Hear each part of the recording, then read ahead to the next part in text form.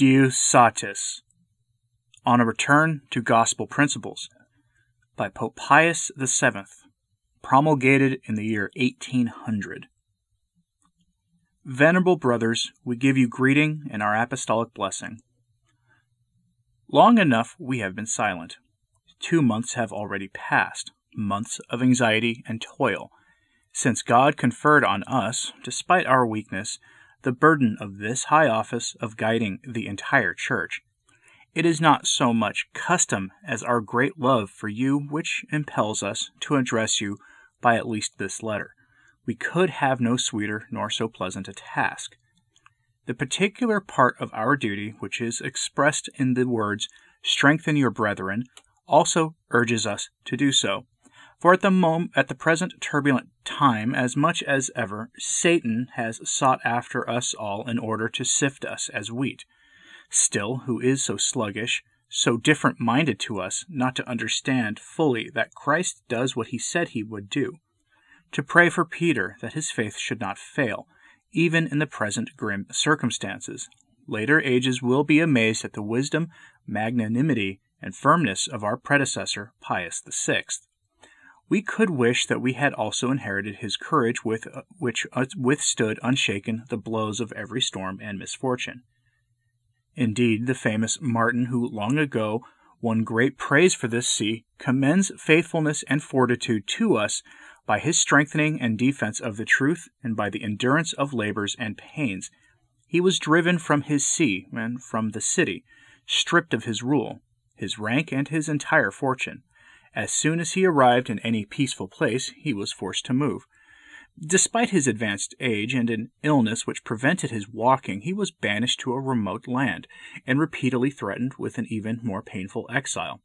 Without the assistance offered by the pious generosity of individuals, he would not have had food for himself and his few attendants. Although he was tempted daily in his weakened and lonely state, he never surrendered his integrity. No deceit could trick, no fear perturb, no promises conquer, no difficulties or dangers break him. His enemies could extract from him no sign which would not prove to all that Peter, until this time and forever, lives in his successors and exercises judgment, as is particularly clear in every age, as an excellent writer at the Council of Ephesus says. It is a fact of very great importance, and it should be recalled gratefully, that God conferred death on Pius VI, this expression is better than that he took life from him, at a time when there was no obstacle to duly deciding on his successor. Remember our fear and suspense when the cardinals were personally expelled from their sees. Several of them were imprisoned, some hunted for their lives, and many forced to cross the sea in depths of winter, deprived of their possessions, all of them in want and separated from one another by great distances. Since the enemy occupied the roads, they could not correspond with one another, nor were they allowed to go anywhere. It was clear that they could never assemble to assist the church if any misfortune struck down Pius VI, who, who was daily said to be between life and death. Who could who would have dared at that time, with our affairs assailed and almost destroyed, to hope on the basis of human plans and help for what was actually happened by the special kindness of God? Before he died, Pius VI established the mode of holding the elections of his successors, and most of Italy was restored to peace. All arrangements were made for the cardinals to meet in Venice to vote under the protection of Francis, Apostolic King of Hungary, illustrious King of Bohemia, and Emperor elect of the Romans. From these events, men should realize that all attempts to overthrow the house of God are in vain, for this is the church founded on Peter, rock, not merely in name, but in truth. Against this, the gates of hell will not prevail, for it is founded on a rock. There has never been an enemy of the Christian religion who was not simultaneously at wicked war with the See of Peter, since while this see remained strong, the survival of the Christian religion was assured, as St. Irenaeus proclaims openly to all, by the order and succession of the Roman pontiffs, the tradition from the apostles in the church and the proclamation of the truth has come down to us. And this is the fullest demonstration that it is the one and the same life giving faith, which has been preserved in the church until now since the time of the apostles, and has been handed on in truth. This is the direction of attack chosen by those men of today who were placed with the defiling plague of false philosophy. The philosophy, as the Greek fathers in particularly rightly named Christian teaching, which the Son of God is eternal wisdom, brought down from heaven and imparted to men. But it has been written, and these words of Paul are aimed directly at such men I will destroy the wisdom of the wise, and the sense of the sensible I will reject. Where is a wise man? Where a scribe? Where the examiner of this world? Has not God made foolish the wisdom of this world? We are led to recall those words, venerable brothers, especially since they marvelously refresh us. They inspire us to shun no toil on behalf of Christ's church, which he has entrusted to us to rule, protect, adorn, and extend, despite our fear of this unexpected burden. Assuredly, he will make us fitting ministers of the New Testament, as exaltation derives from the power of God and not from ourselves. Therefore, I now urge you to join me and devote your eager effort to this objective. May Christ's prayer to his Father never leave our minds. Holy Father, keep them in your name, that they may be one as we. Not for these only, i.e., the apostles, do I pray, but also for those who through their word will believe in me, that they all may be one as you. Father in me, and I in you, that they also may be one in us. It is our particular duty, as Cyprian says in On the Unity of the Church, to uphold and defend this unity, so that the world may see, wonder, and believe that you have sent me, as Christ's prayer continues. Christ is with us and never leaves our side. He strengthens us with the words, Let not your heart be troubled, nor let it fear. You believe in God, believe also in me. Relying on his help, let us work for the common safety with combined zeal. Consolation and cure is called for by cities, towns, countryside, states, provinces, kingdoms, and nations, which for many years have been attacked, defeated, destroyed, and made wretched. But this can be sought and hoped for only from the teaching of Christ. We can now, with greater confidence, rebuke those who think otherwise with the words of St. Augustine. Let them give us an army composed of soldiers such as Christ's teaching demands, such provincials, such veterans, such spouses, such parents, such children, such masters, such servants, such kings, such judges, and finally, such men as repay debts to the public treasury, and such tax officials as the Christian teaching prescribes. Since they are not able to do so, let them admit at once that obedience to this teaching would be of great assistance to the state.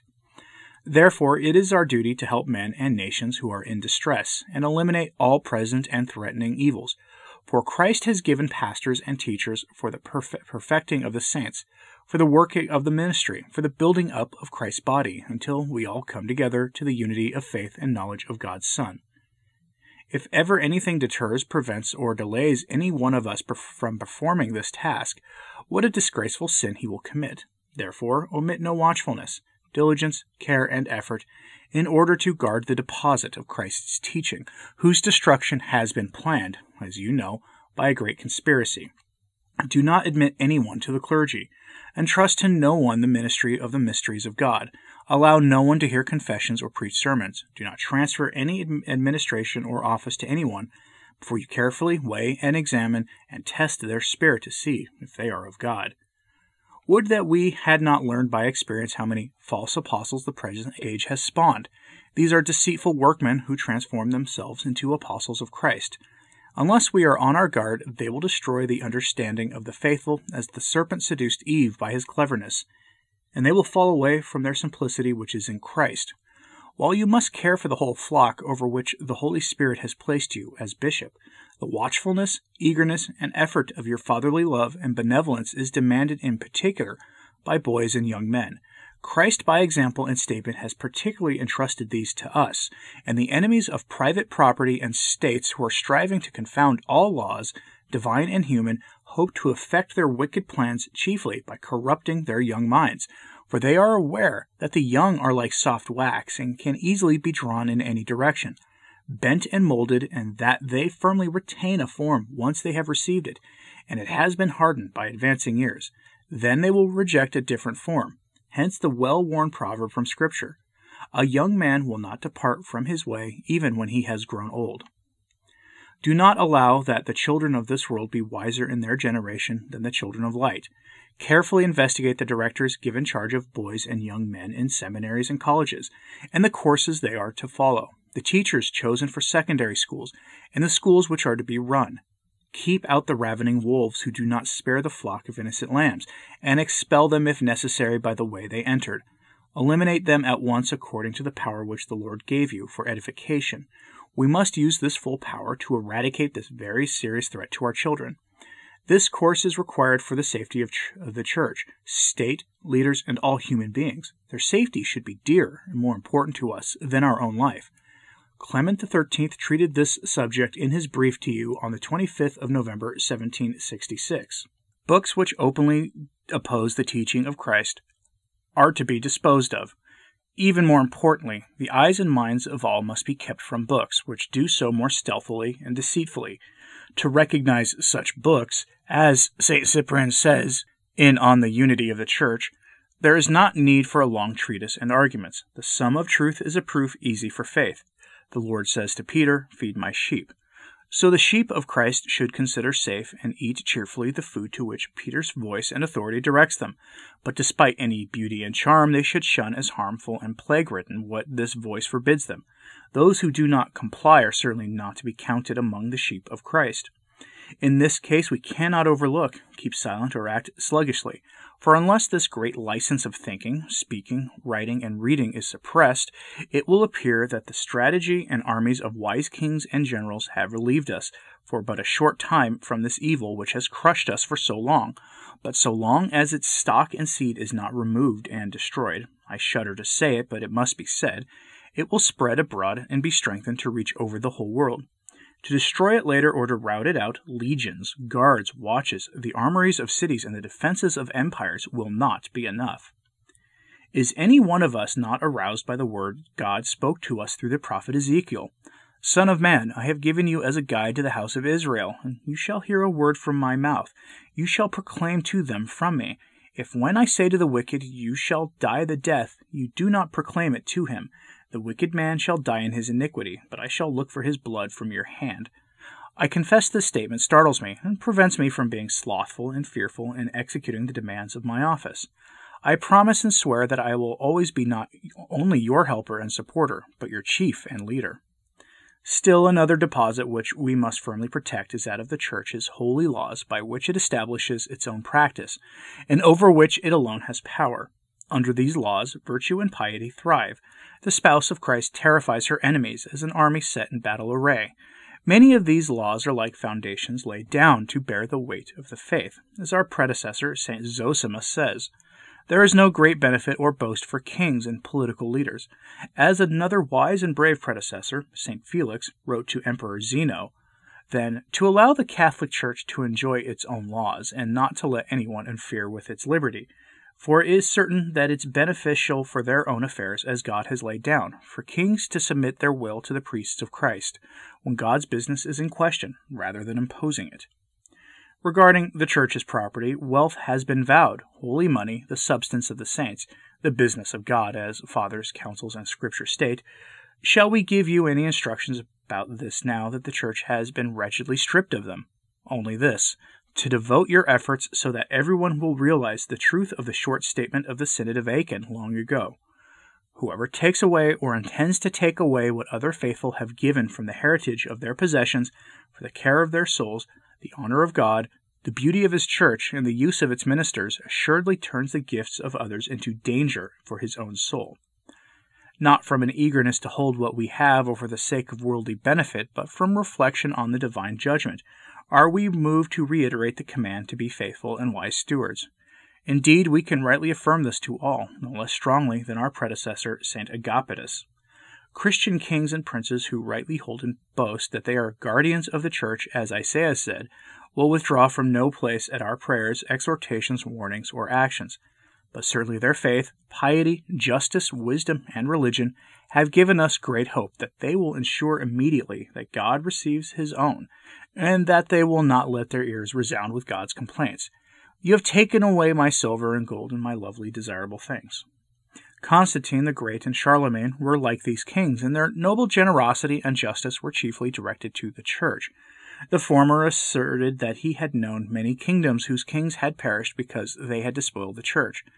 Because of this, he commanded and urged his children and their successors at the head of the state We forbid them to the extent of our power by God and all the merits of his saints to do such acts or agree with those who desire to do them, but let them be helpers and defenders of the churches and of the service of God in so far as they can.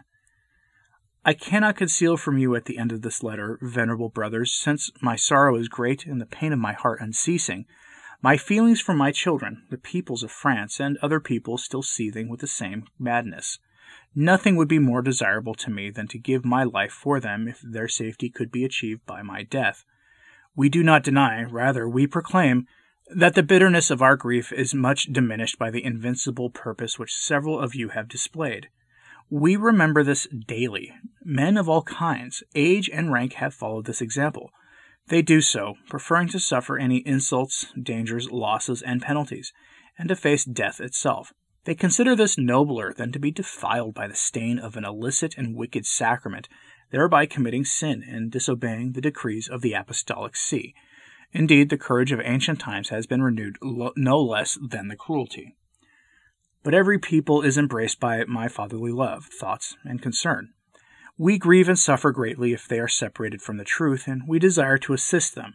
Join us then in our prayers that after this long lasting disturbance, the church may have peace to be built up, as it walks in the fear of the Lord, and in the consolation of the Holy Spirit. May nothing hinder all peoples from becoming one fold with one shepherd. Meanwhile, we most willingly impart the apostolic blessing to you in your courage and preparedness, and to the flock you govern given at Venice in the monastery of San Giorgio Maggiore on the 15th of May, 1800, in the first year of our pontificate, Pope Pius VII.